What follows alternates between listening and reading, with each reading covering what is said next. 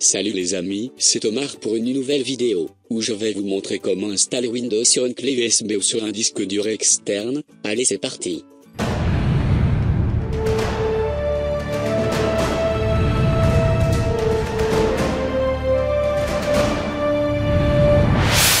Premièrement vous devez avoir l'image ISO du système d'exploitation, que vous voulez l'installer sur la clé, les liens de téléchargement sont tous dans la description, pour Windows 7, vous allez télécharger l'image directement du site, mais pour Windows 8, 8.1 et 10, vous devez télécharger l'outil, et je vous rappelle que tous les liens sont dans la description, choisissez créer un support d'installation pour notre PC, cliquez sur suivant, vous choisissez la langue et l'architecture et l'édition, puis vous choisissez fichier ISO, pour le télécharger sur votre PC, et patienter pendant la préparation et l'installation. Après vous devez télécharger le logiciel qui va vous permettre d'installer Windows sur votre clé USB, et je vous conseille de lire les instructions et les remarques présentes dans le site, car ils peuvent vous aider et vous donner plus d'informations.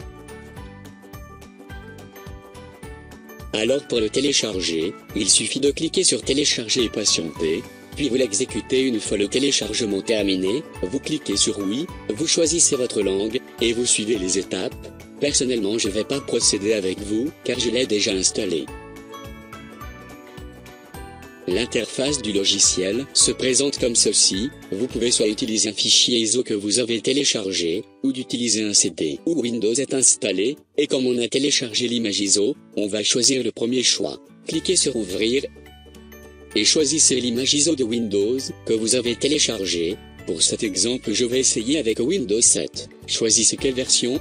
Pour ce cas je vais choisir professionnel, et vous cliquez sur suivant.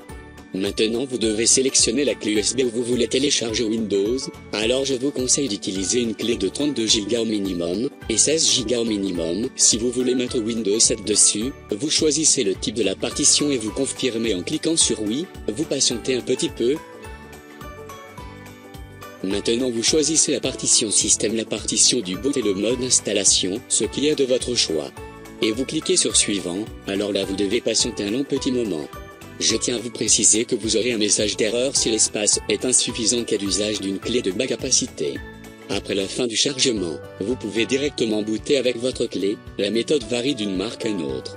Et pour la configuration c'est simple et normal, car vous allez être demandé de choisir et cliquer sur continuer.